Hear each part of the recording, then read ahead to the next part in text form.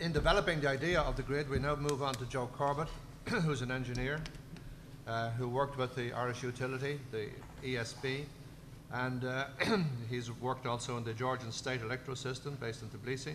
He joined Mainstream Renewable Power in December. He's going to talk about the supernode. Joe. Good morning. Um, the brief was if we're going to build a supernode, where are we going to start and how are we going to do it? So, um, please. Oh, wrong way. Okay. So the first thing that we needed was a node. As Gunnar rightly said, we had the HVDC, we have cables, uh, but we need a node. And this is technology that exists today.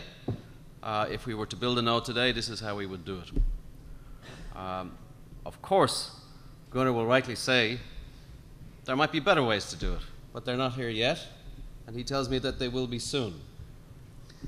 Uh, but this is how we would do it today.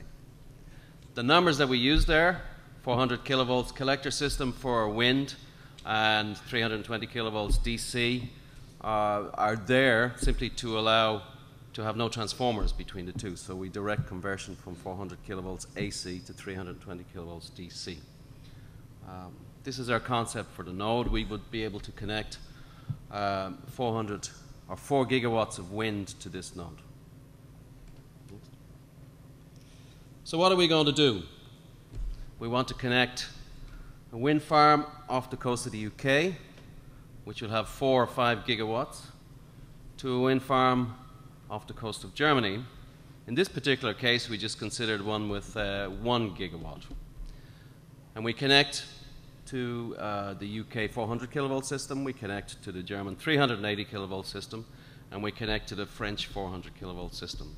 We allow not only the wind to be delivered wherever the market is, but we also allow trading between the three grids. This is important. Thanks. So this is our SuperNode 1 off the coast of the UK, which connects, as I said, to the 400 kilovolt system, um, and also connects north and links in with some of the ideas that people are talking about of having a uh, uh, HVDC connection all the way down the east coast of the UK. Here's our super node 2. In this case, we don't develop the whole node yet because at the moment we only have one gigawatt of wind there. So we connect it as a three terminal uh, connection on a HVDC link, later to be developed as a full supernode when more wind comes, or another connection, perhaps to Denmark or somewhere.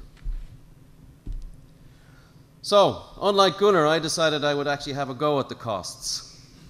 Um, and I needed to compare it to something. So I picked the NorNed connection, which is, has recently been uh, commissioned and is in service. And I know it's in service because I checked um, on the web yesterday and I see that they're actually trading on it. So I looked at the cost. It's a, it's a uh, 700 megawatt link. It costs 600 million euros.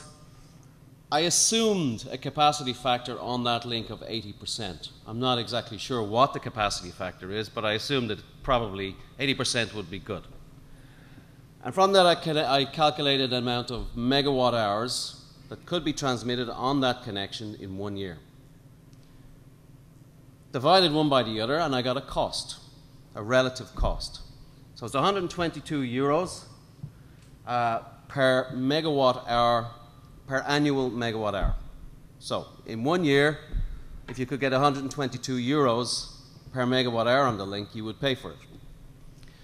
So then, underneath that, you'll see various uh, mainstream scenarios.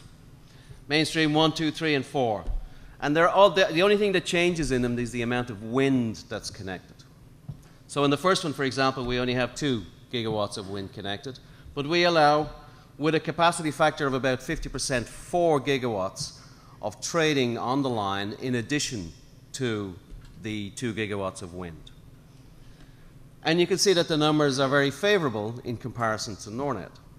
In fact, by the time we have 6 gigawatts of wind, that's 1 gigawatt of wind in Germany and 5 gigawatts of wind off the UK, uh, connected on the line with a 40% capacity factor, um, and we still allowed a trading between the three uh, big systems. we actually bring the costs well below what the costs for NorNed connection are. And as an engineer, I always like to see these things graphically. Thank you for your attention.